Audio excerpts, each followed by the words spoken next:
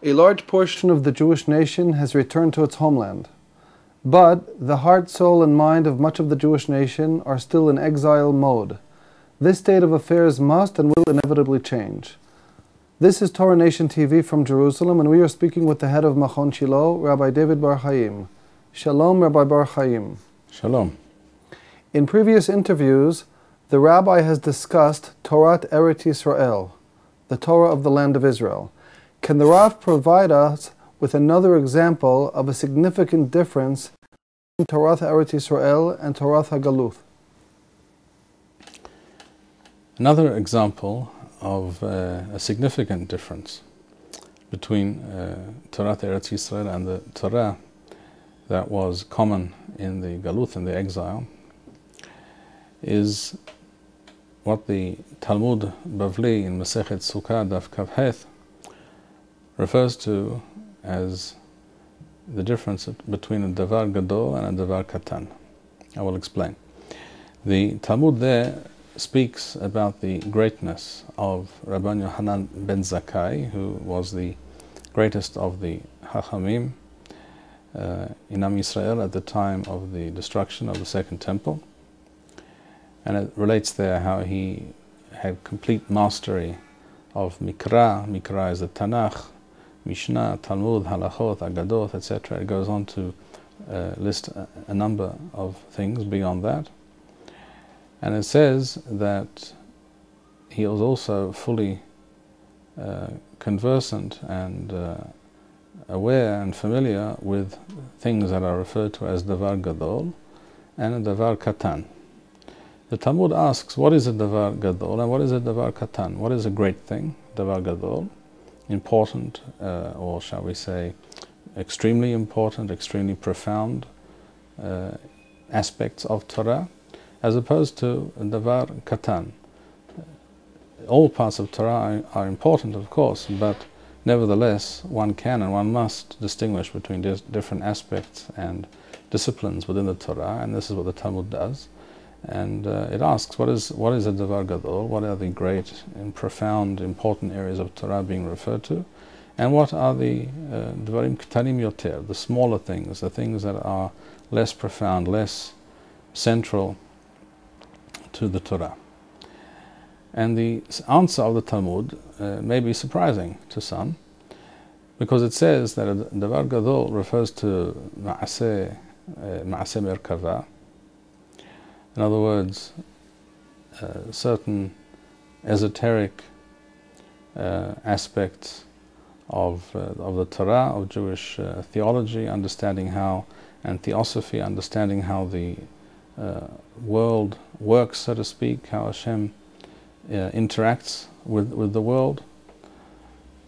This has to do with Ma'aseh Merkava, and this is a, an esoteric and mystical uh, knowledge which was taught to very few people as uh, is discussed in Masechet Hagigah. And Davar Katan, says the Talmud, refers to Havayoth Dabaye Warava. In other words, the halachic discussions that we find, or the type of halachic discussions that we find in the Talmud frequently, uh, that were discussed and debated between Abaye and Rava, all kinds of uh, details to do with halacha. In other words, uh, relatively uh, obstruse, relatively uh, unlikely, sometimes unlikely or not very common aspects of halacha, but nevertheless one has to uh, understand and inquire as to what would the halacha be in this case, or what is the uh, halacha uh, relating to this particular question or this particular detail of this miswa, of this halakha.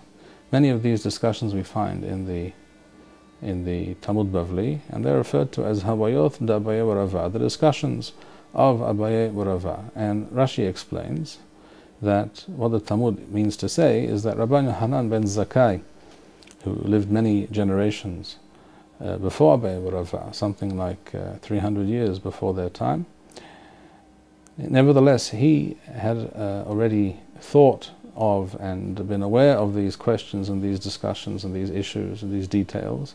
And he had answers for, for these questions. He had considered these matters and uh, had discussed them and had arrived at conclusions regarding these halachic uh, issues, except that the, these uh, points of halakha, these safekot, these doubts or these dubious questions, which require discussion, the, and the conclusions that he reached, and others like him, uh, perhaps in earlier generations, reached, these uh, issues were forgotten by later Chachamim and were once again uh, brought up for discussion in, in later generation, namely the generation of Abaye and Rava.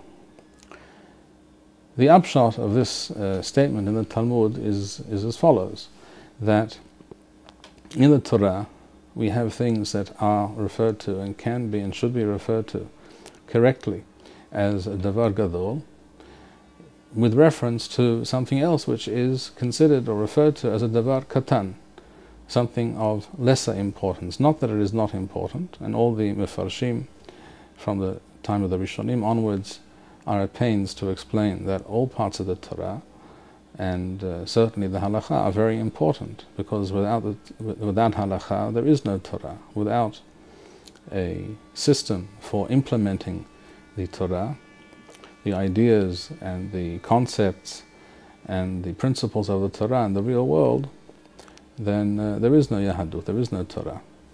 And yet, there is a difference between the system the legal system which provides this practical, real world uh, underpinning and uh, actualization of the Torah in, in the world and human affairs, and the ideas and concepts and beliefs that are the, the real basis and foundation of the Torah.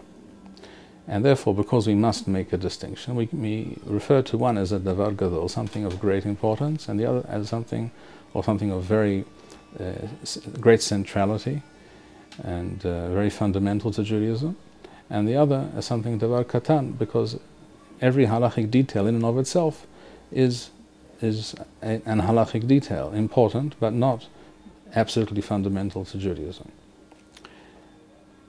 Now, it's it's well known it's hardly a secret that in the vast majority of yeshivot today, but not just today, this is also has been the case for many centuries, if not more than that.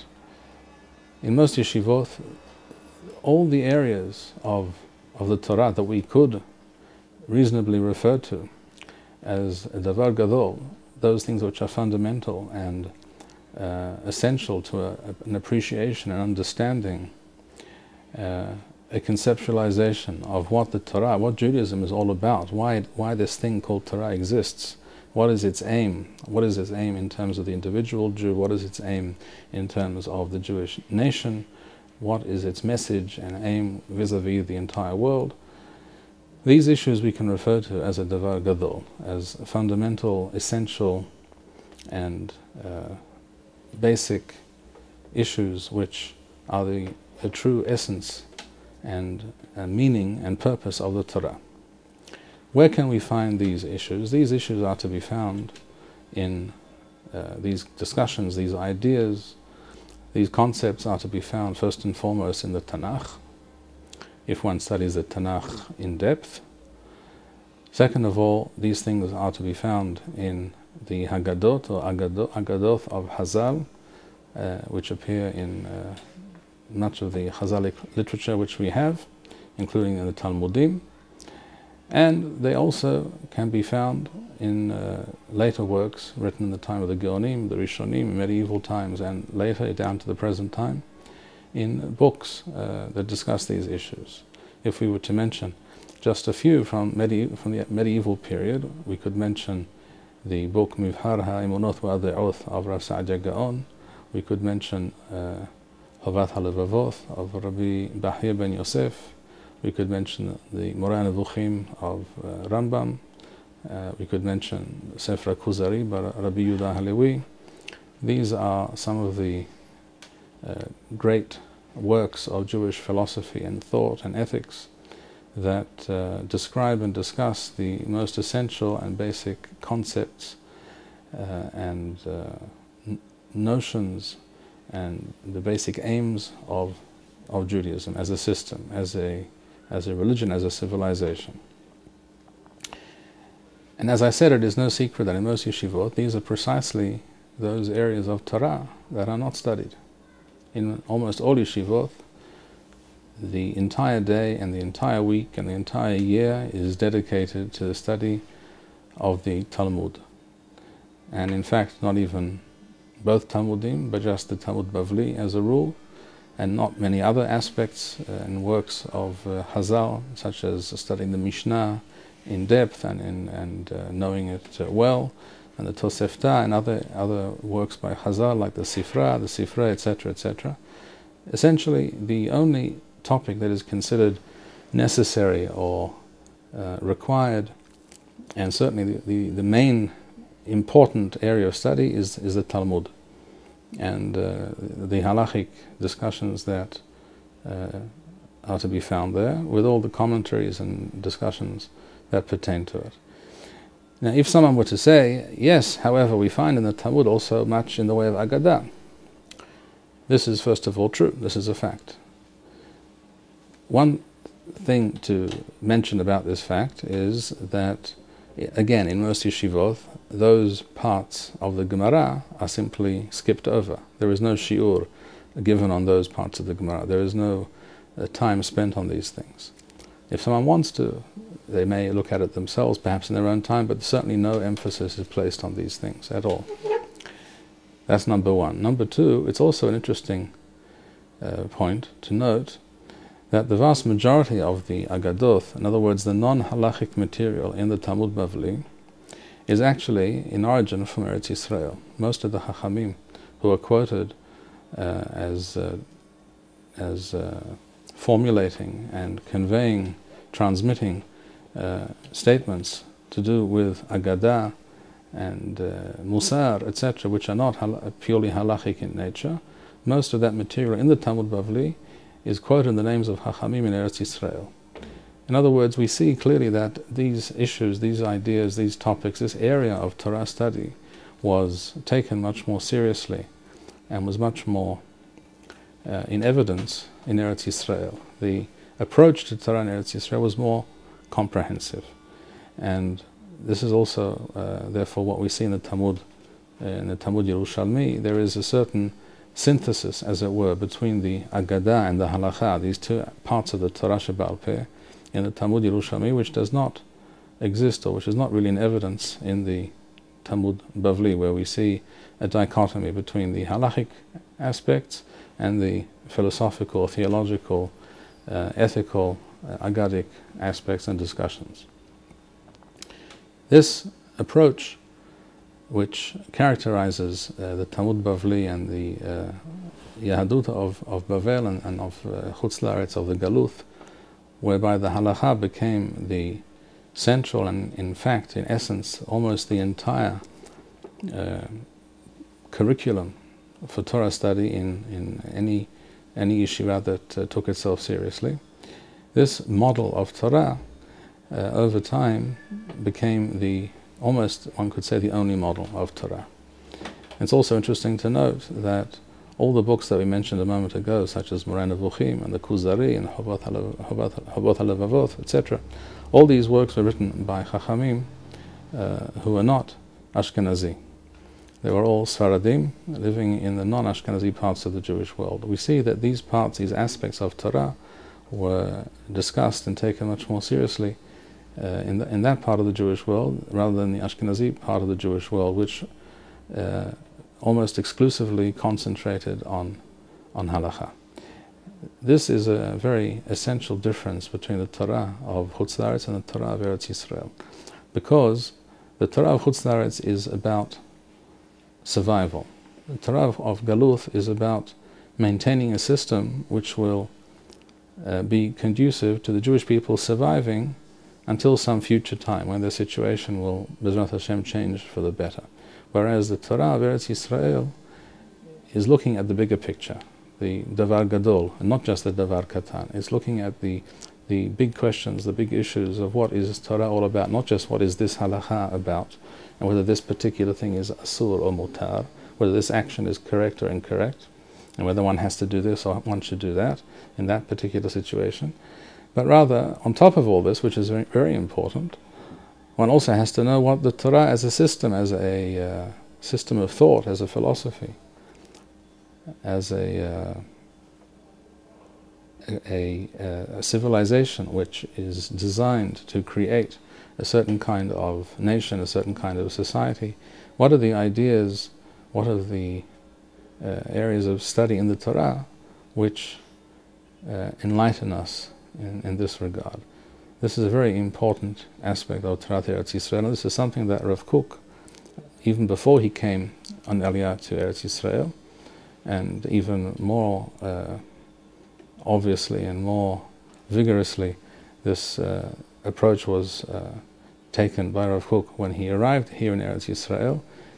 He made a point of stressing time and again in letters to people, in uh, public pronouncements, that people who study in yeshiva, and in fact, for that matter, any Jew who, and every Jew should of course study Torah on a regular basis, that all Jews who study Torah should make it their business to study as well as halacha and Talmud, also study these aspects of Torah. Thank you, Rabbi Bar Chaim. A word to our viewers.